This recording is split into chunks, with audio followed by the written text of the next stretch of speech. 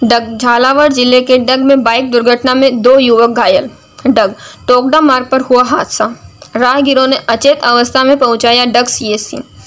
थाना क्षेत्र के डग, टोकड़ा मार्ग पर एक बाइक दुर्घटना में बाइक सवार दो युवक गंभीर घायल हो गए, जिन्हें अचेत अवस्था में वहाँ से गुजर रहे कालू सिंह पटलाई और पूर्व छात्र संघ अध्यक्ष मुकेश सिंह ने अपनी बाइक से डग चिकित्सालय पहुँचाया।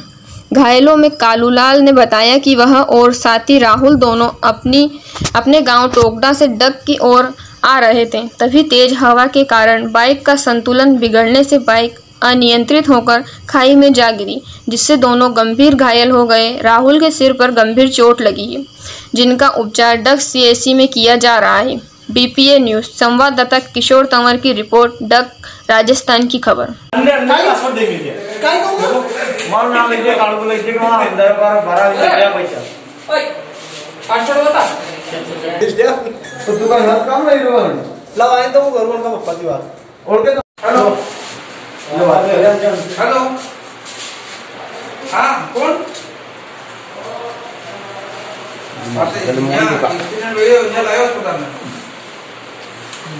कागज़ से मोटर तो ठीक है।